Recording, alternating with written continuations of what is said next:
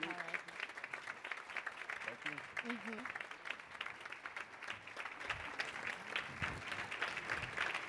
Thank you. Good evening and welcome to the John F. Kennedy Jr. Forum. I'm Maggie Williams, Director of the Institute of Politics here at Harvard. If you had to get the perfect person to interview Tom Brokaw, you would reach out to the historian and scholar Mary Elise Sarotte. Fortunately, we did not have to reach too far since Dr. Sarotte is a visiting professor of government and history here at Harvard. She is also the Dean's Professor of History at the University of Southern California, a prolific author, scholar of 20th century history, as well as an experienced journalist.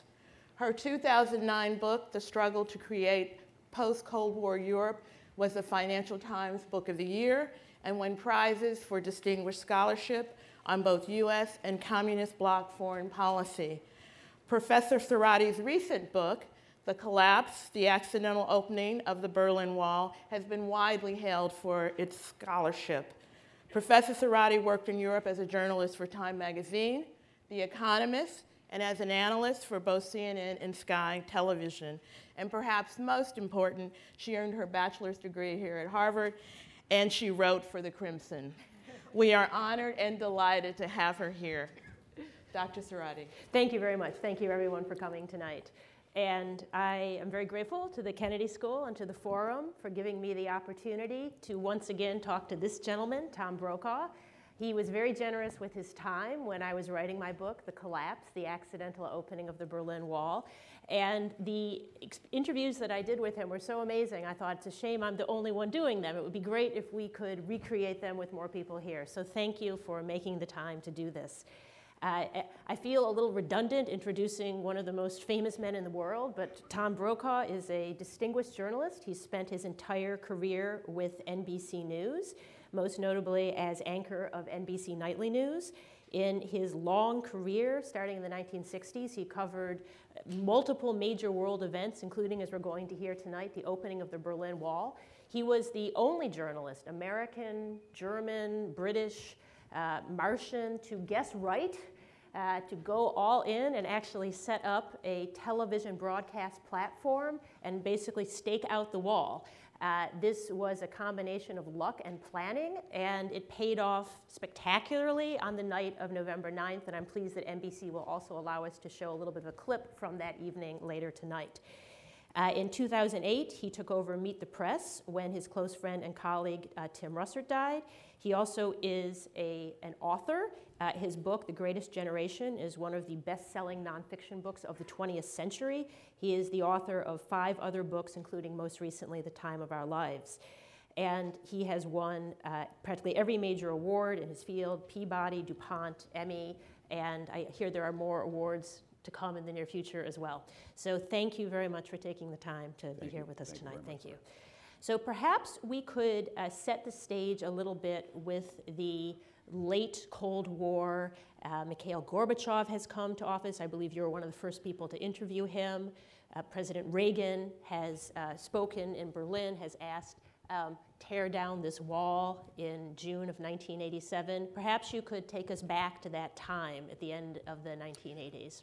Well, it's hard now to um, let a, a, new generation know how um, both A, exciting it was and how uncertain it was when Gorbachev arrived on the scene. Before that, we had been dealing uh, during the Cold War with all these men in cardboard suits that you'd see primarily on May Day standing atop Lenin's tomb and reviewing all the hardware in the world, knowing that both sides had enough nuclear capability to wipe out life on Earth as we knew it. Uh, when Richard Nixon took office, there was a new attempt to create a new kind of relationship. And going to Moscow as a reporter and then going all across the country as I did. I'm a kind of an adventurer. I kayaked through the Russian Far East and fished in the Northwest as well. You wondered how long the system could be sustained, but they had such enormous control over every aspect of the lives of people that I think that it's fair to say my generation of Soviet scholars thought it would probably go into the 21st century a little backdrop. I was a political science major and uh, I was a child of the Cold War. This was a big part of my life growing up. Uh, you know, I was one of those kids who dove under a desk during the air raid drills and, and that kind of thing and paid a lot of attention to it and thought it would be part of my life. Suddenly, Mikhail Gorbachev arrives on the scene. He is much more modern in his appearance and in his language and in his thinking than anybody we'd ever seen. I went out to the airport when he arrived in Geneva to have his first meeting with Ronald Reagan. I wanted to see him away from the crowds. He stepped off the airplane. He had a modern looking fedora on. His wife was extremely well groomed and dressed and was with him. We had not seen that before. And he stepped up to the microphone and pulled out a handkerchief and patted his lip before he stepped forward. That was the kind of behavior that you, you know, there was a little bit of a signal about this is a different kind of guy. And then we began to watch him as he moved across the country, talking about glasnost and perestroika. I remember when he was in Vladivostok, which is in the Russian Far East, as you know, and is an important military port. And right behind him was a, was a, uh, was a Russian general who had the most bewildered look in his eyes as Gorbachev was talking about what his plans were for changing the Soviet Union. he came to this country. Uh, he was a rock star on the streets of Washington, D.C. So there was a vibrancy about what was going on there, but we didn't know how it was going to end up. At the same time, you had a new generation of protesters, like Wałęsa in Poland, uh, Václav Havel in Czechoslovakia, and others who were pushing from the bottom up for reforms and changes. So something was going on, but how it would play out, we couldn't say at that point. Uh, it, was, uh, it was delicate and tentative, and the stakes were huge. So that kind of sets the scene for where we were. And we did know that Gorbachev was a different cat running, the, running Russia and running the Soviet Union. I later talked to uh, one of his closest young advisors who will have to go nameless for purposes of this discussion. And I said to him, When did you know? And he said, I knew when the Koreans came to Moscow. They'd been a primitive agrarian society in 1953, and suddenly they arrive with all the electronics and all the new automobiles and with a, the idea that they're going to take on capitalism around the world. And we were stuck in low gear. And he said, that's when I knew. And I think that, that there was that discussion going on among the intelligentsia in Russia that cannot be sustained in some way. Um, and then, as you know, leading up to the Berlin Wall, the protests became more vigorous uh, Wałęsa was speaking out. The Pope was not an incidental figure, by the way, in keeping the lid on in Poland. Uh, so, as a journalist, uh, it was a very exciting time. 1989 was one of those years that will live, in my judgment, in bold print in the front of chapters in history books. Uh, it was a transformation of the world. You were also in China in 1989 as well, was. where the uh, mood was much less hopeful. I went because Gorbachev went. He was moving around the world, and he went to China, and the, the urban, urbane students from the university in China saw him as a symbol of what they wanted to have in their country. And so they were gathering in Tiananmen Square during his visit, and then he left, and they didn't leave the square. And the question was, what would happen to them? I came back at that point because we thought this, we never anticipated that it would end the way that it did, but it did become uh, much more of a challenge to the, to the, Chinese leaders. And so the crackdown happened on that weekend. And uh, we, we still had crews there, obviously, and everything. We still don't know what the death toll was, but it was a lot larger than what the Chinese government would say. So I jumped on a plane on that weekend, made my way to Tokyo, could not get into China. Um, but there was a very hopeful agent from Pan Am for the younger people here. That used to be an airline in America, by the way. Uh, and I, I made a call in the middle of the night to Jim Baker, who was Secretary of State, saying, I, want, I know you've got a plane going in to resupply our embassy. And he said, You're not going to be on it, Brokaw. This is, I'm not going to get a journalist on our plane. And the Pan Am agent said, I think there's a British embassy plane going. I think I can sneak you on that. We'll have to decide what we're going to call you, uh, you know, some kind of an aid worker. So I went in as an aid worker to China. And I'd been in Beijing many times before that and across the country. And when I stepped off the plane, it was the most eerie experience that one of the largest, uh, robust cities in the world was eerily quiet, deathly quiet. And I made my way to what passed for offices down near Tiananmen Square, and our, our, my colleagues were effectively locked in their offices. And the whole square was ringed by the militia. Most of them had come from the country. And even though they were generationally aligned with the protesters, they didn't feel connected to them because these were university students and, and, the, and the conscripts were from poor peasant villages. And it was tough. And then within 24 hours, one of my very favorite colleagues was a cameraman from South America, from South Africa that I'd worked with all over the world on all the wars. And I came down one morning and he, he had a big bushy beard and bush shorts and he said, mate, I think we can make some pictures. And he was putting a box on the back of a flying pigeon, which was their flying, which was their pedestrian bicycle that they all had in those days. It's before they got in Lamborghinis and Porsches, which they now have. And he said, We'll put a camera in here, we'll cut a little hole, you get on a bicycle behind me, and we'll ride through Tiananmen Square and we'll show the folks back home what's going on. We did that successfully for two days. The first video that came out of China was ours, and I was able to talk about the, uh, the eerie calm and the, and the sense of foreboding that the people had that we would encounter in the back alleys and so on. So that was going on in 1989 as well. Did you worry that that kind of violence might take place in Cold War Europe as well? And I'm putting up an image here. The uh, orange color shows the Soviet bloc or Warsaw Pact, and the green color shows NATO. And you'll notice the dividing line runs right through Germany, divided into East and West Germany. Did you worry that those reforms in Poland, that those, they Well, might you encounter know- violent resistance?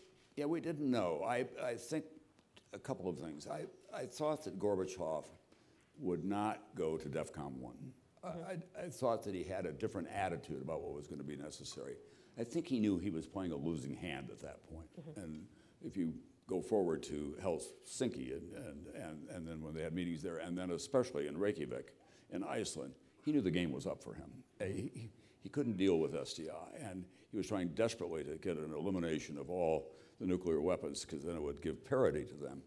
And if you look at the accounts of that meeting, you know, they were very chummy when they came out at lunchtime, uh, President Reagan and Gorbachev. And by late afternoon, when Gorbachev laid out what his hopes were, I had covered Reagan since 1966, and he was furious. I mean, his lips were pursed, and I thought, there's no deal here. And Gorbachev went back knowing that they didn't have a deal, and they didn't have a lot of places to go at that point. Was it going to become violent? Uh, I thought the chances of violence were greater from the smaller officials, the um, nomenklatura who were running places like East Germany and, and parts of Czechoslovakia and so on. They were not getting very much instruction. And would they revert to what had always been uh, the way that they would deal with any kind of an uprising, which would be with force? But they also knew that their future depended on this.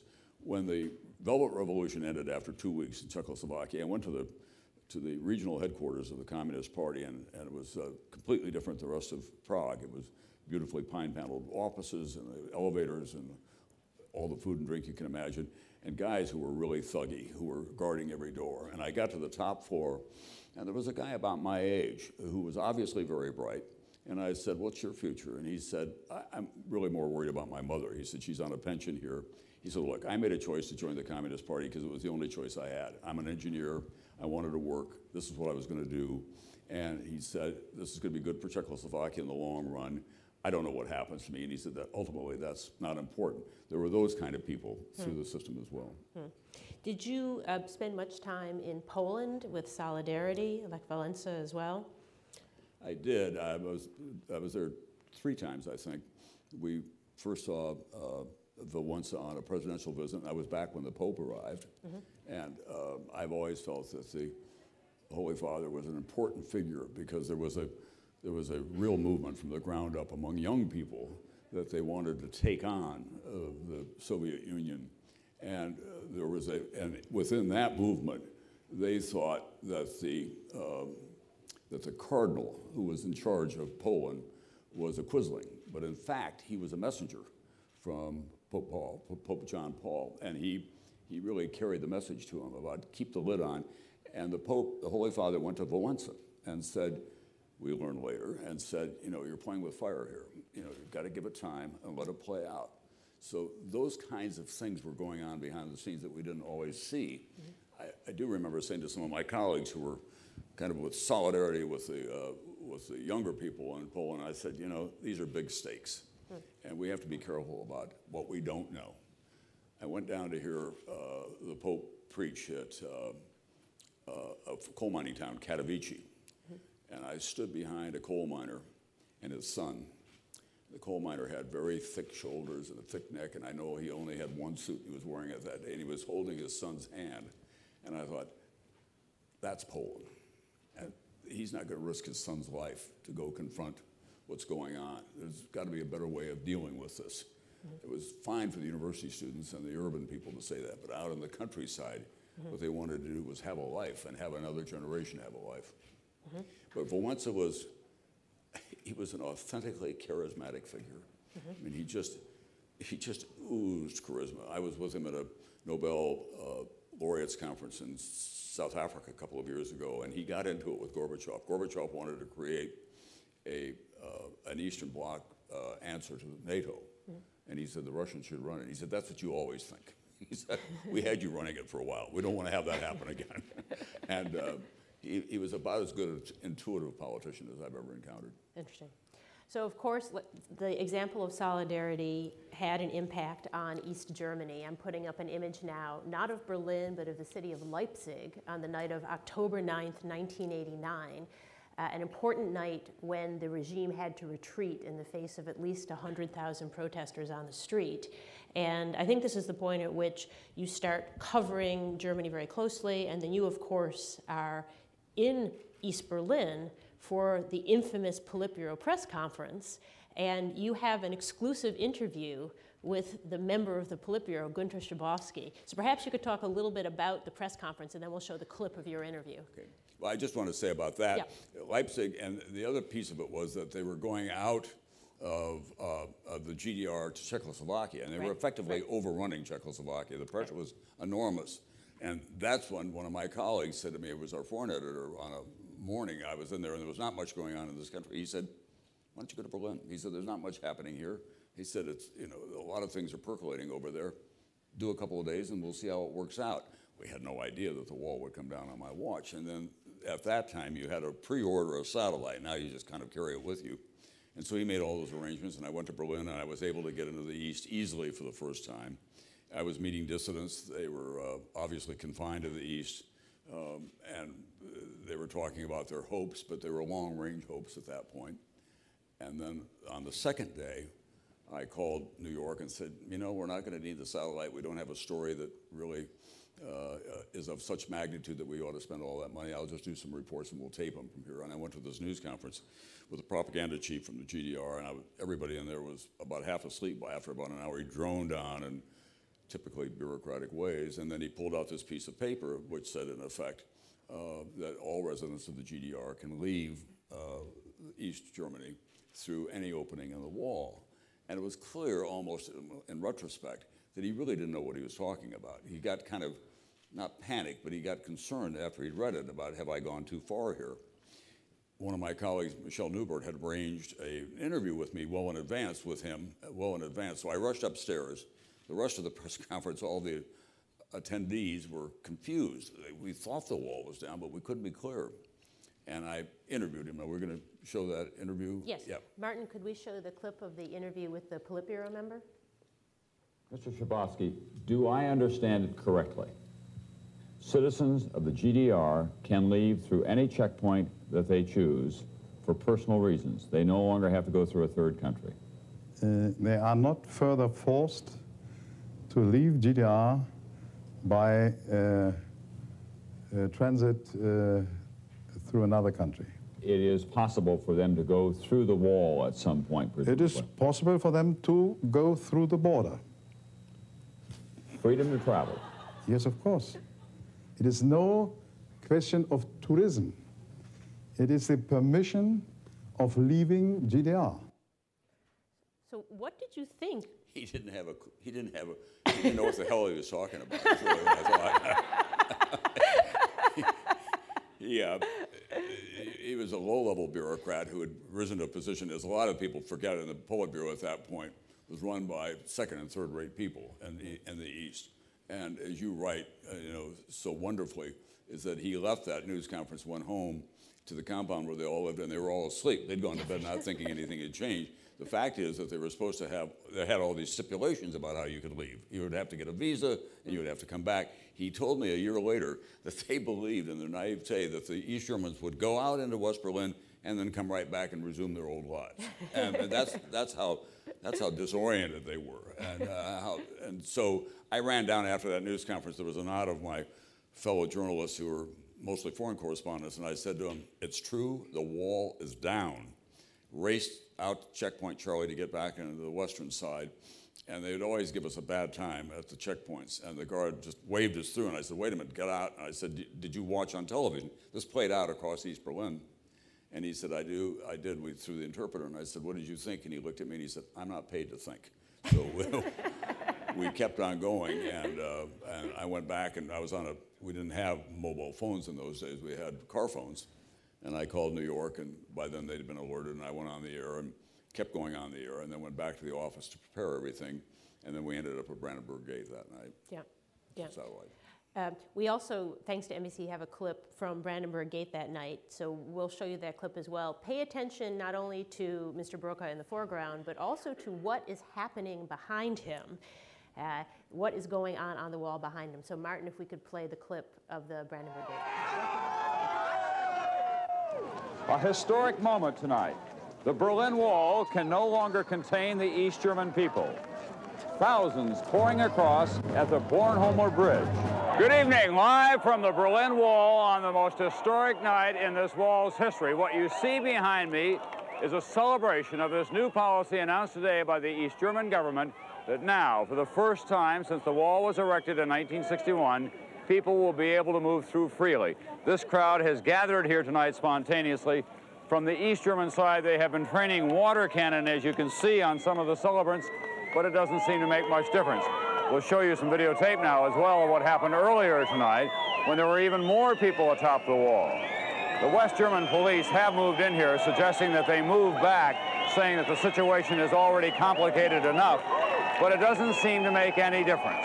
The people are here to celebrate freedom. For the East Germans, freedom to travel, a primary right for people anywhere in the world. The East German government said today that the East Germans can now go for a short visit or go to the West permanently as they go through the Berlin Wall at any number of the checkpoints. The East German government announced all of this to demonstrate to the world and to its own people, of course, that it is serious about reform. The wall, as we have known it since 1961, a sinister symbol of oppression, the wall has changed dramatically tonight.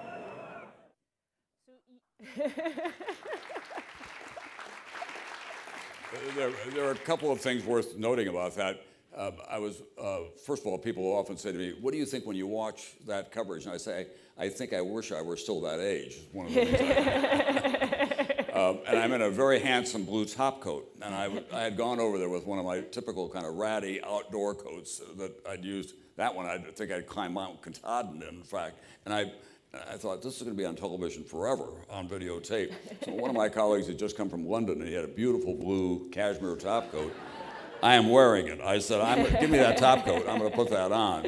Um, and then uh, back in New York, the control room, we have everything scripted. And I said, I can't deal with the script here. I'm just going to have to ad lib it. It's such chaos. We didn't have any teleprompter or anything like that. And I, whatever reputation I have, centers sometimes on my ability to stand and talk. I have kind of a teleprompter of the mind. So I was just working my way through it all. And it was one of those occasions in which I, I was glad that I'd been a journalist as long as I had been and grown up the way that I did because I was familiar with, with most of the issues. And there was a guy standing over on the wall, we've talked about this before, who, who resisted all the water cannon. He had a leather jacket on and he was laughing and everybody was cheering him on. He'd come from the West and they couldn't drive him off the wall. So I sent one of my colleagues over to get him to say this is the symbol of the new era of freedom. And my colleague came back and said, not what we think. He said he's a drunk who's been living over here in the forest and he hasn't had a shower in two weeks. He's very happy about where he is. But I mean, what did you think? You're, you're, you're there, and you're, uh, it, it, seems that the regime has said that people can move freely across the wall, and yet behind you, there's water cannons spraying with such force they're almost hitting you. Well, they were worried about that in New York, that I would get washed off the platform. Right. Apparently, they had Garrick Utley on standby on a minute's notice for when you were knocked off the platform by the water cannon. Right. They yeah. were going to go live to him in New York. well, one of the things I thought was, and I, because my mind was working on two tracks, will the Russians respond? Will they mm-hmm. send tanks? Yeah. Will they try to shut this down? Yeah. And what will be the short and long term consequences of all of this? Yeah. Will they change in East Germany? And will the country be united? I was thinking about that that night because, of, you know, we were playing in an entirely new universe here. There was mm-hmm. no way of, there were no predictors that would tell us what would happen. But as the people poured across, and a lot of it was generational, there were younger people who said, we're not going to live this way. Their parents had gone through the agony, all self-induced, of World War II, and the Germans had gone through the 20th century with these self-induced wounds that they had inflicted on the world, and their parents were beaten down. But this new generation said, we're not going to accept this. And so they were the young people at Leipzig and, and, and going off to Czechoslovakia. And then when they poured through, it was like watching creatures of the moon arriving on Earth. They would come into West Berlin. They would have these uh, acid wash jeans and very poor prams and the Lada and the Trabant two cycle uh, cars belching diesel smoke. And they would drive and walk down the Kurfürstendamm with all these fantastic Western stores uh, filled with goods, and they just couldn't imagine what they were seeing. There were some very touching stories. There was a tailor who lived, you know, 40 meters from the wall, and every morning he would get up and he could see another person on the other side of the wall in an East German apartment, and they would wave to each other. And they had been doing that for 25 years. And then they were able to be united and, and get to know who they were, uh, each other. So it was a very, very important, also a very, very human moment when that yeah. happened. Yeah. I also, uh, thanks to Mr. Brokaw, I had the good fortune to interview a number of the members of his production team who helped to make that broadcast possible. And they described to me their main experience of that night, which was panic, because the press conference happened at, it concluded at about 7 p.m. local time, and that Gunter Schabowski, the man you saw, seemed to say the wall was open. It, it wasn't, but he, he seemed to imply that. And so you used a car phone to call that in at about 7 o'clock German time or 1 o'clock New York time. It then became the responsibility of your team to get photos of people crossing the wall, which didn't exist. it took a while. There was such confusion on the east. We made all these promises, and it was the clock was ticking down to 6:30 hour time.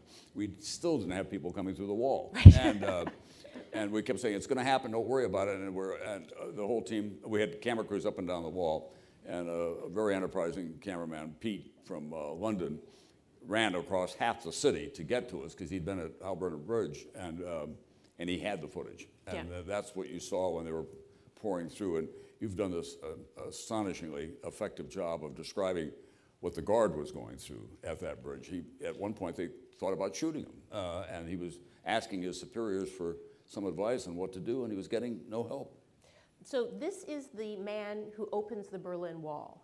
His name is Harold Jaeger. He was a Stasi officer, an East German secret police officer, and he was on duty at the Bornholmer Street checkpoint, where one of your intrepid team members finally showed up and, and got some footage. And he uh, was on the job that night, as he had been every night for the past 25 years. He'd worked at this border crossing for 25 years, and basically nothing unusual had ever happened. And suddenly it's the night of November 9th, and hundreds and then thousands of people are showing up and saying, I just heard a press conference, and it sounds like I can cross through the wall. And he called his superior officers and said, Have I got any new instructions? And they said, No, business as usual. Nothing has changed. Keep the gates closed. And he called again and said, I, have got more people here. And they said, Business as usual. Keep the gates closed. He said that he called his superior officers 30 times over the course of four hours. And at some point, he just realized that he was completely being left in the lurch. And he felt uh, scared. He felt that he'd been left alone. He was actually going through a cancer scare on top of everything else. It turned out he didn't have cancer, but he had had tests to see if he had cancer, and he actually had a doctor appointment the next day to get the results. And so that night he thought, I'm a dead man anyway. And at, at a key moment, finally, at about 11.30 p.m. on November 9th, he, he looked at his men at the border crossing and said, either we're going to shoot all these people or we're going to open up because this mob is going to overrun us. Our superiors are no good. I can't get any instructions. The, the, the, the, ship of state is sinking. I'm dying of cancer anyway. Either we're going to shoot all these people or we're going to open up. And so Harold Jaeger makes the decision to open up, and this is the result of his decision. This is the opening of the Berlin Wall at about 11:30 p.m. on the night of November 9th. And fortunately, you can see there's a man there uh, standing and filming. That's not actually one of your team members, as far as I know, but fortunately, one of your team members was there and was actually able to, to film this. Right. And so then uh, I understand from one of your producers that he just, in a, in a dead run, just barely got it to your producer in time for airtime at 6:30 p.m. New York time. He did. Um, uh, he was, a, he was, a, you know, we're a kind of band of brothers type when we go on these assignments. We've been all over the world together, and we know who we can count on.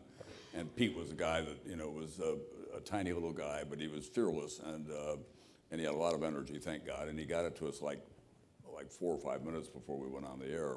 So we were able to open those dramatic scenes that you saw before we rode, rolled the billboard of uh, NBC Nightly News.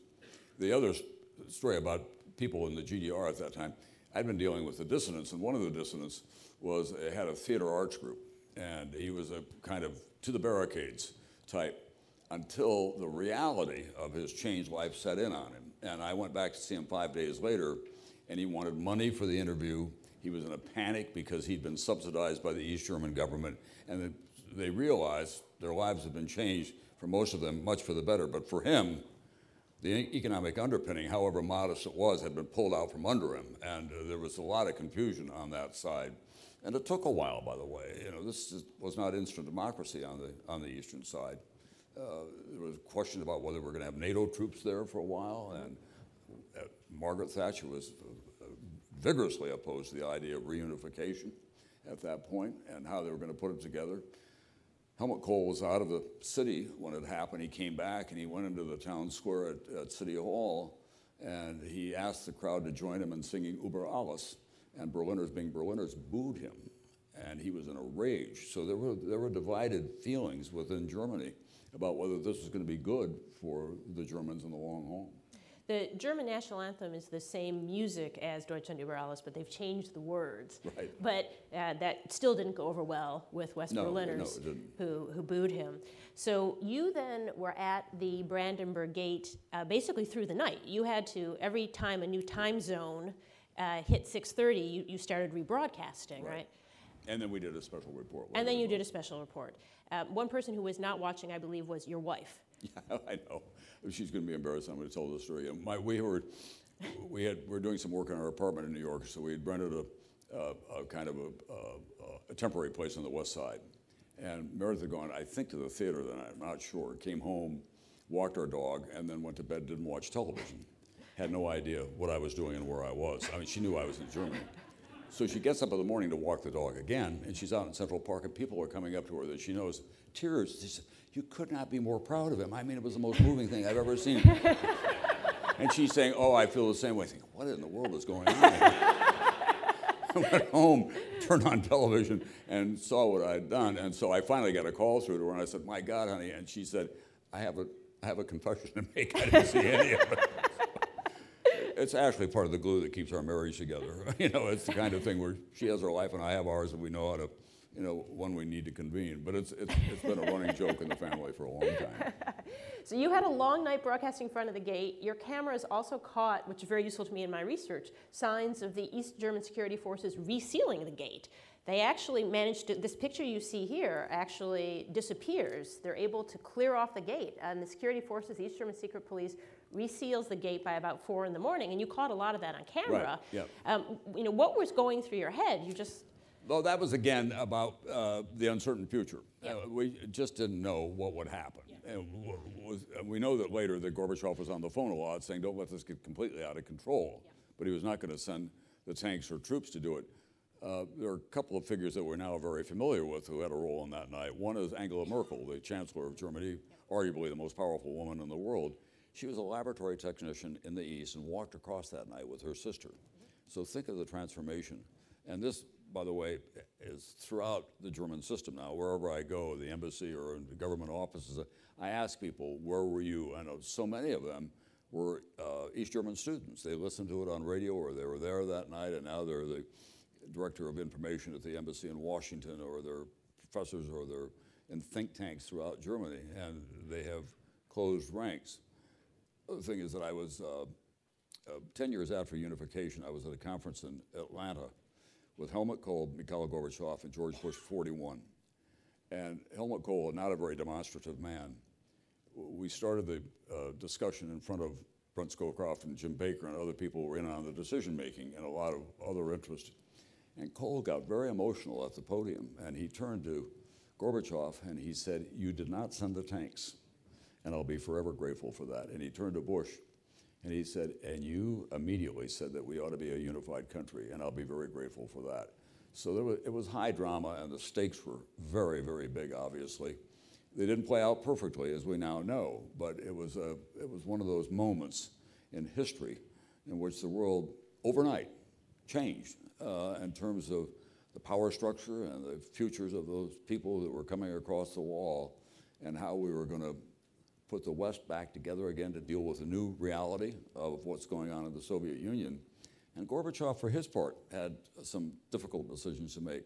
I just pulled up something I wrote in 1991 in the New York Times because I got very close to the Gorbachev inner circle after I uh, did that first interview with him. And I was over there, and Yakovlev, who was kind of his uh, intellectual guru, and Shevardnadze, who was his foreign minister, took me aside and they said, we want to have a snap election to get uh, a certification of Gorbachev as the leader of the country, but he's resisting because he was determined to have at least a dotted line to keep the Soviet uh, satellites connected, and he didn't want to give up on communism.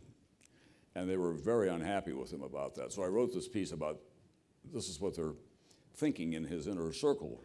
And two weeks later, he was arrested, and uh, he was taken to the Crimea and put under house arrest.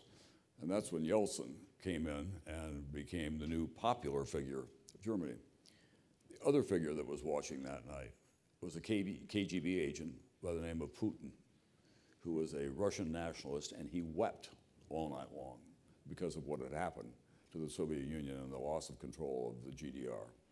So great events have smaller players, and they have as well uh, real consequences eventually.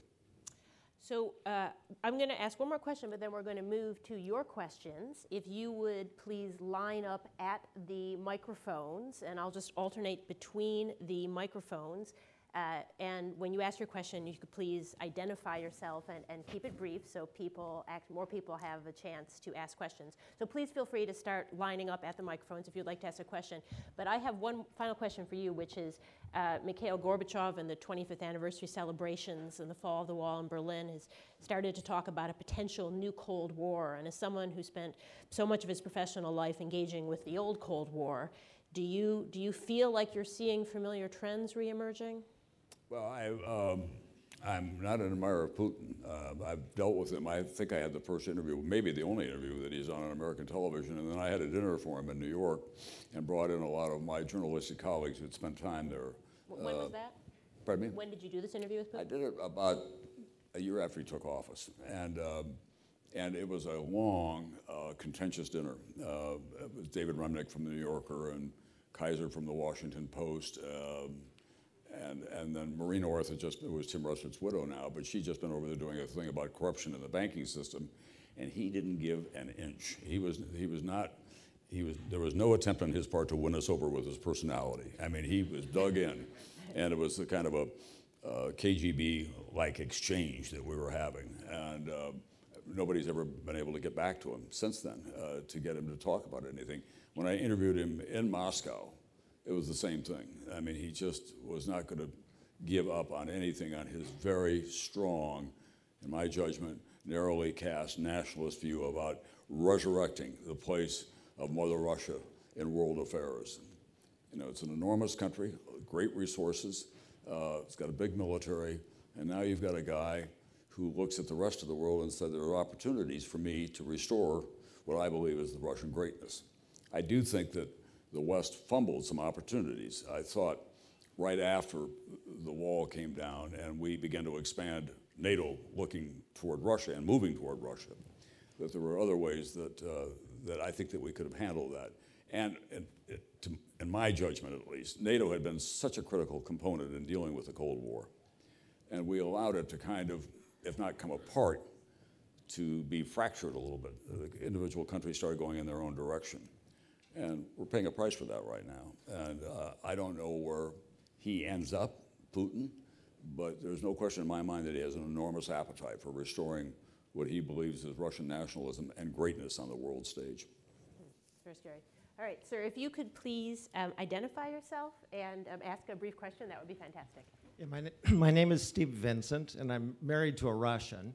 Um, I'm interested in the comments you made about how Gorbachev uh, had limited options and that there was a lot going on behind his decisions with uh, Glasnost and Perestroika. I'd be curious if you could elaborate a little bit more about what was controlling uh, his decisions and whether there are any parallels that we might see in Russia today. Well, one of the things that was happening, in, fact, by 91, 1991, they had bad, they had bad crop failures. So they had real issues going on in the economy.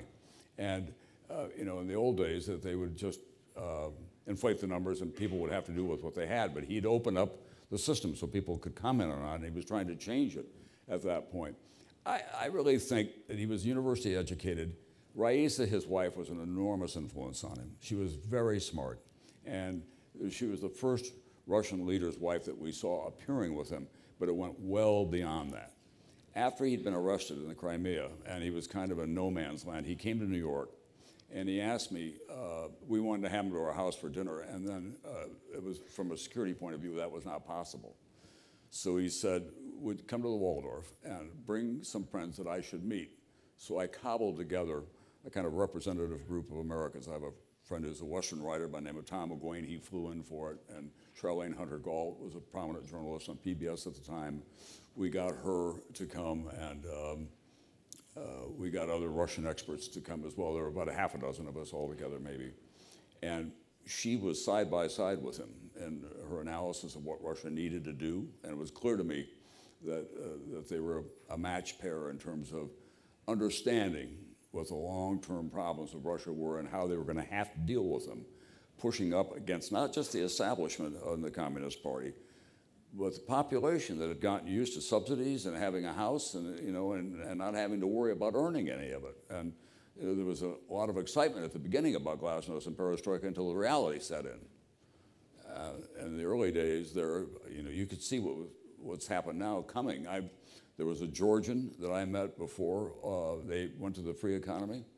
And we tapped into him. He had warehouses full of computers and Western uh, washing machines. And I said, How do you do this? He said, I give computer lessons to the children of the Politburo. he said, I have a school.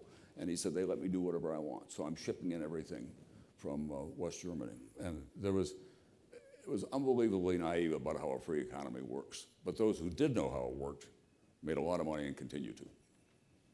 Sir, if you could identify yourself. Hi, uh, my name is Ben Bolger, and I'm an alumnus at Harvard.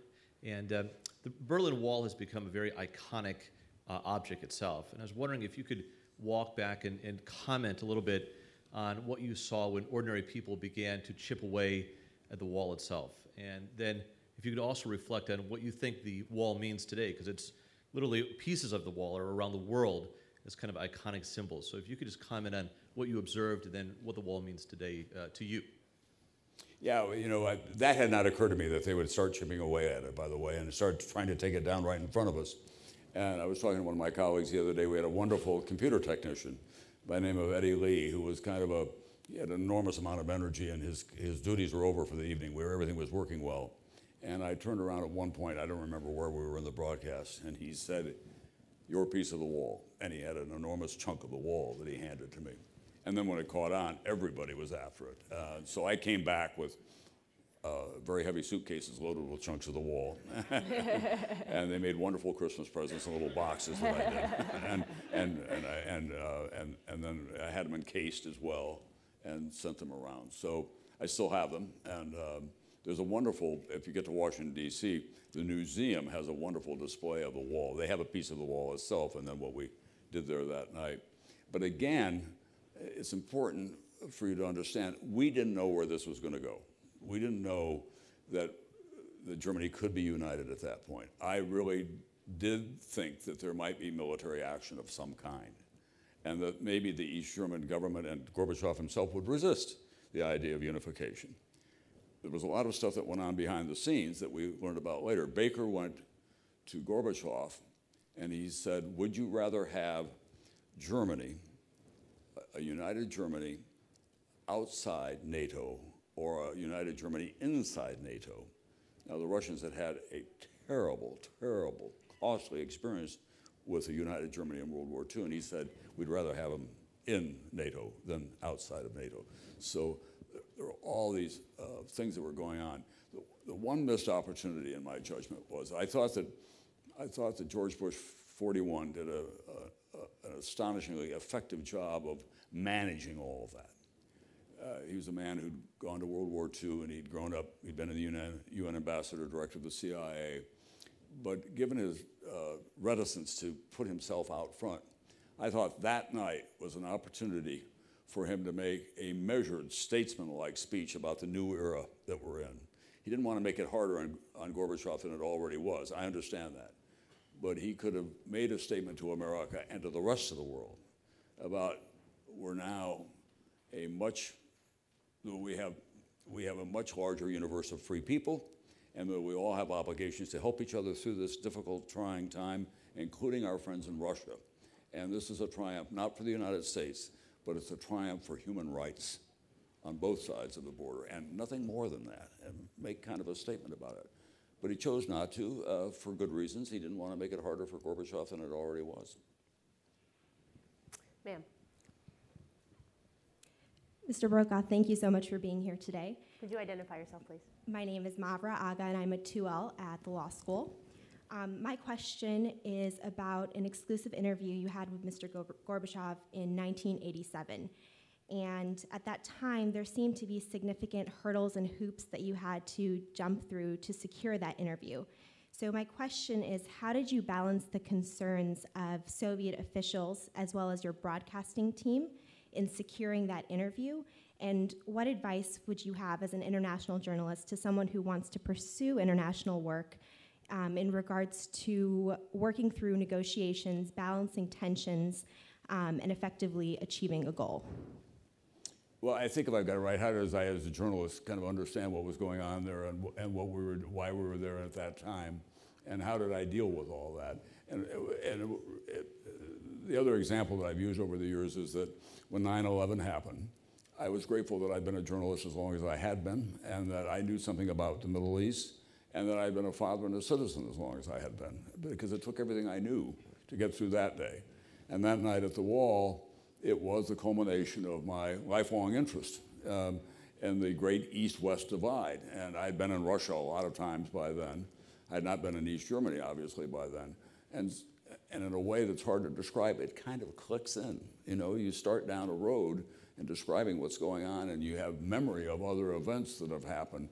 And um, I've always had as a kind of guiding principle a narrative first and then context, and try to keep it all together so that people understand not just what they're seeing on the screen, but what the ramifications are of that, and where we have been and where this may lead. So it's a, it's a great test but it's also exhilarating and exciting for a journalist, especially when your competitors are not anywhere near the place at the time, I think she wanted to know specifically, you secured the first interview with Gorbachev. Right. How, were there conditions on that? Did, did you feel there uncomfortable were. with them? Yeah, if I were to do it again, I would, we would, it was a tough negotiation, and they wanted to uh, do a simultaneous translation for one hour. And um, uh, we didn't have very good translation in those days. We took a man who had been well known and doing their UN stuff, and, and we had to do it simultaneously. And they didn't, this was an entirely new experience for them. One of my colleagues was late Gordon Manning, a, a, a fabled, legendary Boston newspaper man originally. They worked at Newsweek, worked for Waldron, and then worked for us, and he was our he was our agent in all of this, and he knew the people around Gorbachev. So we got the interview, got there, and we did get a lot out of it. But looking back on it, I would have been tougher on the conditions of it. Uh, the simultaneous translation was hard to follow because he was talking and we were hearing the translation at the same time. He opened with a bromide against the United States, and we only had one hour. And I didn't want to engage him on his uh, terribly um, mistaken view of who we are. I mean, he was doing that for his Russian audience rather than for the international audience because we only had one hour and I had so much stuff that I wanted to get to. So those are the decisions you have to make on the fly. But it was, a, it was an interview that was extremely well received. It was a big week for me. I did that on, it was a Thanksgiving, and then the following week, we ran that on Monday night. On Wednesday night, the following week, of the same week, um, we had a live from uh, the Kennedy Center, a debate of all the presidential candidates who wanted to succeed Ronald Reagan, uh, Democrats and Republicans. And, we went, and I was out there kind of without a safety net doing that for two hours. And then on Friday, Dan, Peter, and I had uh, an interview with the president, Ronald Reagan, as we were, he's winding down his administration. And we drew for first and last question, and I got both. And that was the week that God was looking down on me in some way. So that was a pretty good week. Do, do we have a question up there at that microphone? Yeah. Uh, hi, my name is Brendan Kent. I'm a freshman at the college and a member of the JFK Junior Forum Committee. Uh, my question is: Is going into that press conference the night the wall came down, what were you expecting? I know you you probably obviously knew about all the events that were going on in Leipzig and everything that was happening. Were you expecting an announcement on the magnitude that that uh, that you got, or were you, was it a major surprise? Was I expecting an announcement that day about the wall coming down? Yeah. No. When we were in the news conference, it was mostly a bookkeeping kind of an arrangement. They were just dealing with uh, trivia and minutia of what the policies were going to be. And it was not until the very end of the news conference that he pulled out the slip of paper that someone had handed to him on the way in. And a couple of people who are now, there's a dispute between two wire service and one newspaper guy about who asked the question, is the wall down? And, uh, and that's when you could almost see the panic in his eyes as he tried to avoid that as much as possible and said, Comrades, at six o'clock, it's time to leave. And he went upstairs. and uh, gratefully, I had the interview uh, arranged through Michele, so I was able to deal with him. But it was not a declaration written out in bold print. It was a confusing moment for everyone. I remember the uh, man sitting next to me was the AP bureau chief in Berlin. He'd fallen asleep by that point, and I was close to it. And my cameraman uh, was a German national, and he immediately said to me, Tom, this means the wall is down. What he is, it means what, because he'd heard it in German, and we had the translation. And, uh, you know, it was as if this thing had arrived from Mars, uh, this alien voice saying that the wall is down. And uh, whatever fatigue I felt went away very quickly. It was a very exciting moment. Um, and we kept thinking, there's got to be a catch here, but there wasn't. And one, once those events take off, they really take off. One of the reasons I really wanted to interview Tom Brokaw was that th there were uh, two times you guessed right. One was to be in Berlin at all, and the other was that you were the only uh, the only reporter to have an exclusive interview set up with Gunter Schabowski, the man who announced the opening of the wall. You see here the image I have up is that press conference. And that press conference was an hour press conference, and for 53 minutes, everyone who was there, yourself included, said it was excruciatingly boring. Yeah, it was terrible. I believe you, you said you fell asleep at one point yourself. Yeah, I, I mean, everybody was nodding off at some point. The, other, the other interesting thing about the press conference, a, a small point, was that the East German press, as it were, as it was constituted, they were more aggressive than we'd ever heard them. They were really going after him early in the press conference about details of stuff. And so that was part of the climate of the time, that the East Germans had been emboldened. And again, it was generational. These were all young reporters who were pressing him very hard. You know, he was a bureaucrat. He was a, uh, probably a third-rate uh, guy who'd risen to power because the, the leading ranks of the, of the GDR Politburo had been pretty well uh, eviscerated by, by that point. I went back to see him a year later. He was a uh, kind of a broken man. Uh, he, he didn't go to jail, as I remember. He, he was convicted, but he yeah, had basically house yeah, arrest. they, and he didn't have a pension. He, his son was taking care of him. That's what most of those communist officials were worried about, that they were going to lose any ability to live out their lives financially. He had a tiny apartment in, um, in the East, and uh, he'd been living, he'd had cars and drivers and living in the compound, and suddenly he was reduced to this. And he said to me in this most pointed way, we thought that they would want to come back and resume their lives. I mean, that's how distorted their thinking was. So, so that night, he actually evades questions. He, he's supposed to announce a fairly minor change. Uh, it's not supposed to be the opening of the wall, but he botches the announcement. He doesn't bother to read it in advance. And then he uses the fact that he has to get to your interview as an excuse to get out of the room. So when people start asking questions, he says, At 7 o'clock, I've got to go, I've got to go. And he goes off to the exclusive interview with you. And all of the German journalists in the room are suddenly thinking, how did he get this exclusive interview? His producer had to physically blockade the door for the duration of the interview because people were trying to bust in on it. And so you were the only one who had a chance to ask him these questions. And you, we just played the clip for you, how you responded. Well, it's, it's a permission of leaving GDR, which is East Germany. And it's kind of vague, but it, it sounds like, you know, the wall is open. So it was a very dramatic night, and there's an interaction between the politics of the event and the coverage of it. And the uh, coverage of it, the fact people like yourself then say the wall is open, actually inspires East Europeans to go to the wall and make the wall open. So it's this amazing sense of the media getting out ahead of history, but then actually making history as well. And for the young journalists in the room, the last thought that went through my mind before I said good evening, don't screw this up, Brokaw. It's going to be around a long time. All right, let's go to this mic over here. Hi, my name is Casey Gallagher Schmitz. I'm a sophomore at the college. Um, so I was born after uh, the, uh, the fall of the Soviet Union, the reunification of Germany. So kind of a uh, divided Germany is kind of such a foreign concept to me that I was I wanted to ask is is there still a marked difference between the eastern sections of Germany and the western, and are there still a lot of old wounds that need to be healed? Yeah, th- there really is. There's uh, the West Germans, uh, if you probe, kind of resent having to uh, subsidize the East.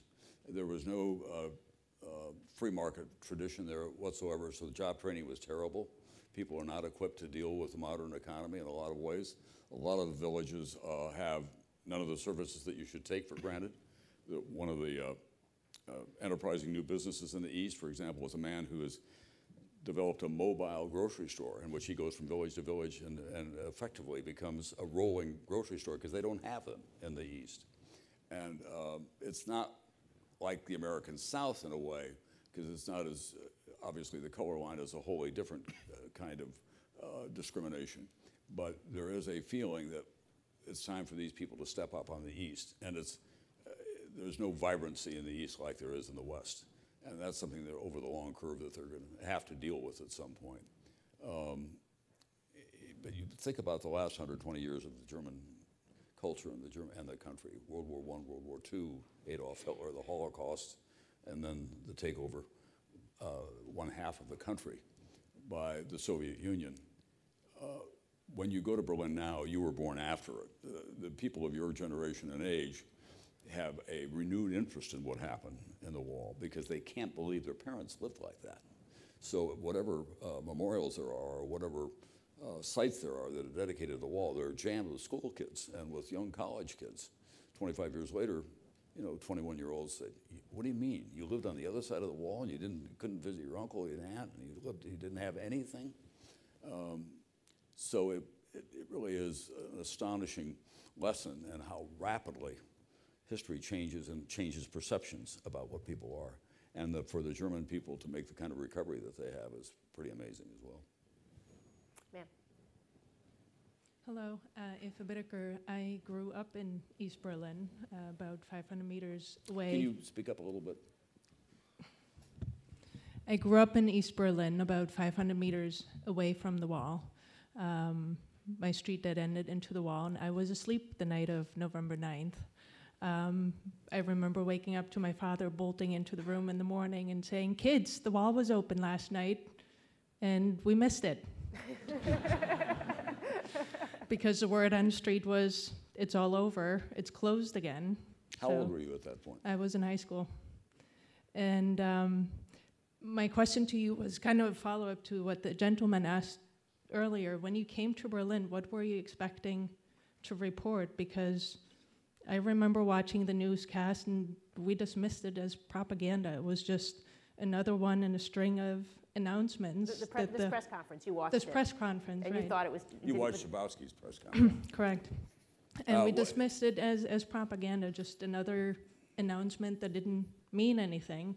And many people like us, not everybody, the pictures now make it seem like everybody raced to the wall and wanted to get across, but that's not everybody. Most people did dismiss it and didn't think anything was going to Well, happen. Well, what I was expecting when we first arrived was going to be an interesting story, and it was a step in a long process, is what I thought we were doing. And I wouldn't have gone if there had been something really big and newsworthy going on here, probably. Uh, but you also must remember the conditions of 1989. This was happening all across the Eastern Bloc. Uh, these countries, you know, were percolating in a way, and there was all this ferment of, of revolution and, and demand for human rights. Um, I absolutely understand uh, uh, how you would have felt that that was just another propaganda announcement. What, what, did, how, what did your father do in the East? He was an engineer for what now would be telecom. Had we had we had family in West Germany. My mother's father was, and, and aunts and uncles were in West Germany, th- which I never knew. I mean, we knew I knew that we had them, but I never got to know them. So after you woke up and realized that the wall was down, did the family go across? No, we went to school. My parents went to work because it was going to be closed again. And then only slowly did we hear the news. And I think Saturday they were starting to bring cranes to our street and taking pieces of the wall out and opening more crossings because they couldn't handle the flow of people. That's when we went across. And I remember going across and being on the other side and looking at a map and trying to get an orientation of where in the world we are. We had no idea that the street continued. And when you look back on it now, does it seem in a way surreal or um, just another event that at that point you thought was a piece of propaganda? very surreal, amazing how quickly things started snowballing uh, from that night. And what I loved about your conversation this evening is that you kind of set it in context, which is often not given, of all the stuff that was going on in 98. And I also remember uh, the, you know, we were teenagers. My parents were very protective when we wanted to go to demonstrations. They didn't want us to go because there was that undercurrent, that fear that something was going to happen. And, and the same, once the wall opened, nobody knew that it was going to stay peaceful. Did you have any sense of what the West was like and West Berlin was like before you walked across? And what did you think when you saw all those broad boulevards and uh, new cars and the shops filled with all the consumer goods? We were privileged in East Berlin. We could watch West German television, which was different in other parts of East Germany where the signal was Mhm. scrambled. So I knew what to expect from TV. And I was more amazed by the welcoming of the West Berliners to all the East Berliners. There, you know, they were handing out coffee and flowers and, and, and know, cookies for everybody going across. And that's what I remember more so than the stores and the glitz. I guess it, it, it probably felt a little bit like when people now come to visit me here and we take them to New York and we go to Times Square and it's just, you know, big buildings and lots of lights. That's, I do remember that part too. Well, for the rest of your life, you're going to be a player in one of the great dramatic moments of all time, and now here you are at Harvard. So you've had a complete 20th and 21st century life already. Thank you. Thank you.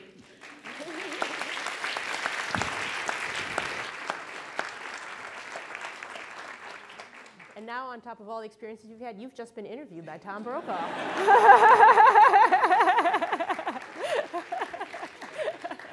I'm interviewing you here tonight. None of that, none of that, none of that. Stop.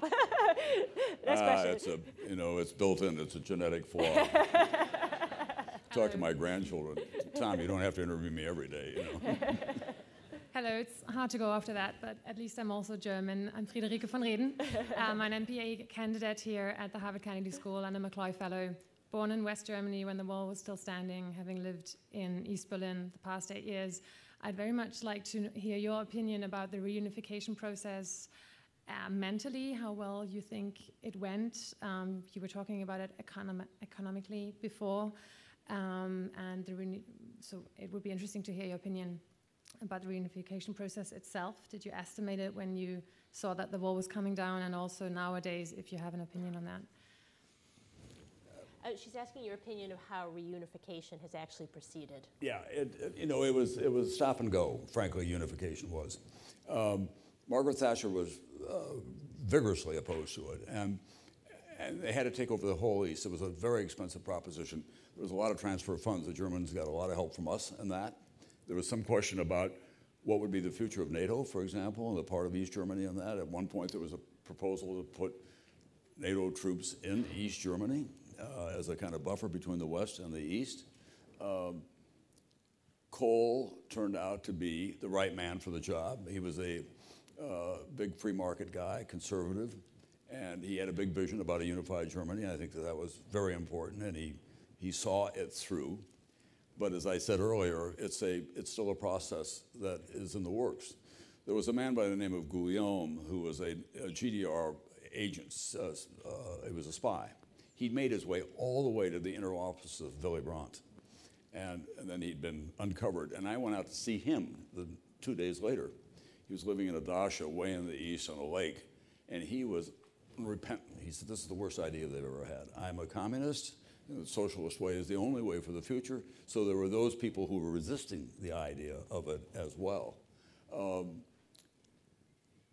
I do think that your question gets at what is too often overlooked about the kind of miracle of Germany being A, reunited, and then B, the economic miracle of being the most powerful economic engine in, in Central Europe. And when you go there, uh, depending on what ages of the people that you talk to about what they went through during World War II and what their parents went through and, and what their hopes are for the future, there still is a lot of emotional and, and, uh, and intellectual conflict in their minds. But they want what they have now to be their future and how do they want to be remembered. And uh, sir, you will have the honor of asking the last question. I'm, I'm sorry, the other people in line, our, our time is running out. Mr. Brokaw has been very, very generous with the time, with his time, especially a time when he's facing some, some health challenges, I know. So we really appreciate it. So you will have the final question, and then you will have the final word. Th- Thank you. My name is Leonard Ellman. I'm a 50-year alum of Harvard College. And Mr. Brokaw, I'd like to perhaps change the topic slightly and ask you, what advice would you have for the current administration in dealing with Mr. Putin? Um, you may remember that um, before the, uh, the last election, before uh, Obama was um, uh, reelected, he said to the president of Russia, uh, you, you tell Putin I'll have more freedom when I, in the second term. I think he's made, the president has made a couple of big mistakes. I think that Putin is an opportunist, and when he saw the president being uncertain about how to deal with Syria and the red line, I think it sent a signal to this old KGB agent I can move in on this and, and take him on. Um, I do think as well that we have not worked hard enough in a conspicuous way to reconstitute NATO and the idea of NATO. Today, Merkel was tough on Putin, it's been a long time since anybody spoke out as she did today. And I think there has to be a unified front against him. He has the added advantage of the distraction of what's going on in the Middle East with ISIS, and uh, it's our third war there in 13 years. And those events will define the Obama presidency, quite honestly. This is the last act for him in a uh, in a mega way about how we deal with that. How it's, it won't be resolved by the time he leaves office, but will we be in a position to eventually get it resolved? I don't know.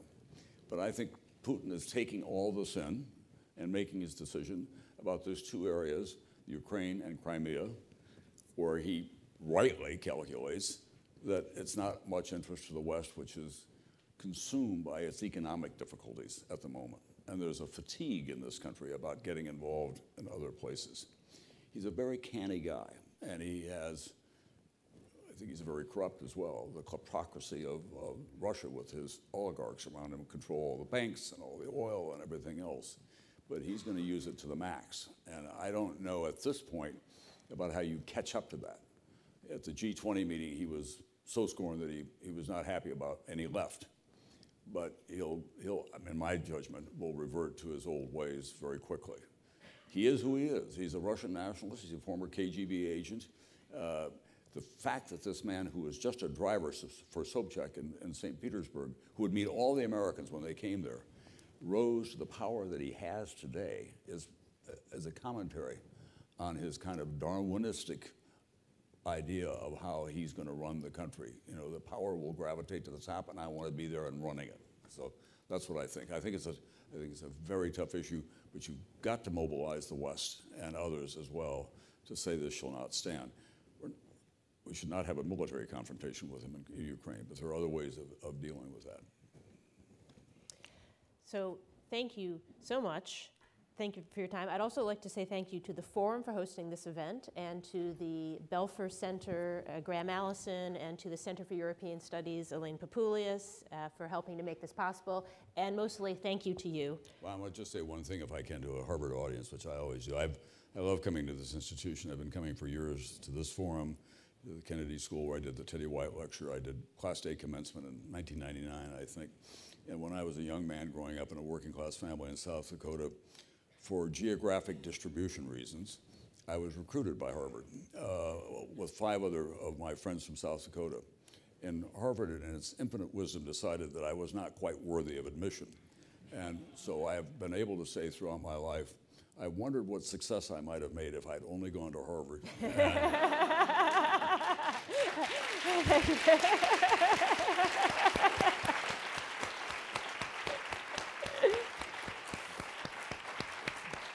Well, you have, you have come to Harvard, and we are very grateful. And we're also very grateful to all of you for coming tonight to help mark the 25th anniversary of the Fall of the Wall. Thank, you very much. Very much.